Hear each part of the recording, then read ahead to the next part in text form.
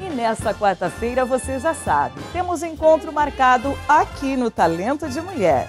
E a nossa talentosa desta semana, que dividirá sua história conosco, será jornalista, educadora, autora e diretora do Centro de Integração de Estudantes, Sirene Mioto.